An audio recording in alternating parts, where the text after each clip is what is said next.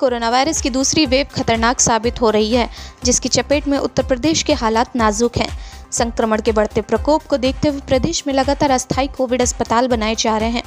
संक्रमण के खतरे को देखते हुए लखनऊ के हज हाउस में हाईटेक कोविड अस्पताल बनाया गया है। रक्षा मंत्री राजनाथ सिंह और मुख्यमंत्री योगी आदित्यनाथ ने हज हाउस में बनाए गए कोविड अस्पताल का दौरा कर तैयारियों का जायजा लिया है। चीफ ऑफ़ प्रोजेक्ट ने बताया कि यह 255 बेड का अस्पताल है, जिसमें 25 वेंटिलेटर हैं।